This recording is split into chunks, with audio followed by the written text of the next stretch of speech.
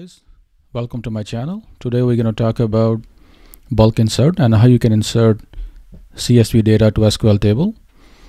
So I'm going to show you three scenarios where you can use the bulk insert to insert data. In the first scenario you see that we have this employee file. Uh, it's a standard employee file which has a first name last name number address postal code salary and join date information.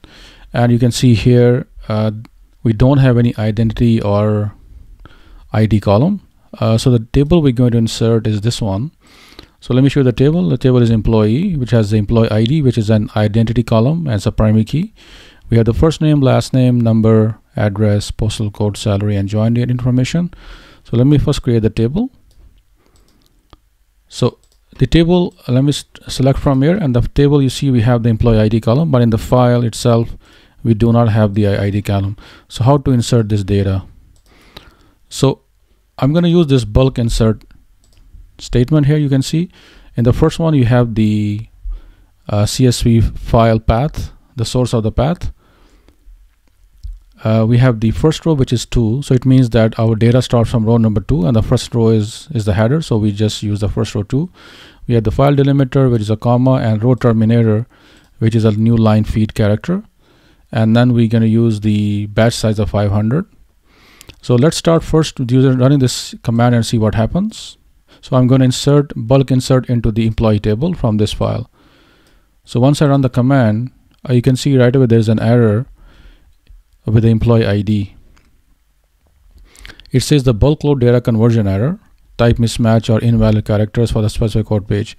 So it means that we don't have the employee ID column or the or the field in the into the into the actual file. So how to resolve this issue? So to resolve this issue, we can use an a view. So this is my view that I created. So in the view, you see this view sits on top of this employee table. And if I select from the view, you can see that it doesn't have an employee ID column. So instead of using the table, I'm going to use a view to insert the data. And I'm going to run it and you can see that you see the, the view works and then we have the data inserted and the employee ID column is populated. So that's the first scenario I want to show you. In the second scenario, we have the employee ID column coming from the file. So let me open with Excel. And you can see that in the in the first column, we have the employee ID coming from the from from the provider or the source. So how to insert this data? So in the second scenario, you can see that we, we already have the data coming in. So let me truncate the table and then run again. Since we already have the data coming in, we don't need to do anything. It's, uh, it's going to populate automatically. So let me select now from the table. So if you see that when I select from the table, the it was auto incremented and the we have the employee ID column populated with the with the IDs coming from the from the table itself.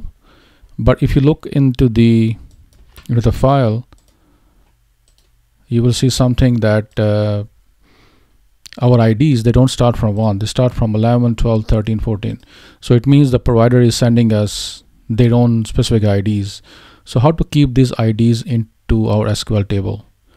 So we don't want to use 1 2 3 which is auto incrementing we are we're going to use their own uh, ID columns from the from the source file. So to do that I have another bulk insert statement here. So let me first truncate, truncate the table again. So you see here, we're going to use an option called keep identity. So once you truncate the table and you run again, you can see that if you use keep identity, we're going to use identity columns from the from the file itself. So now the data is inserted and you see the employee table is populated with the IDs coming from the from the provider or the file and does not keep the IDs from the from the table itself. So that's where that's where, where you can use IDs coming in directly from the from the source file. So I hope you like the video and uh, if you like it please subscribe to my channel and thanks for watching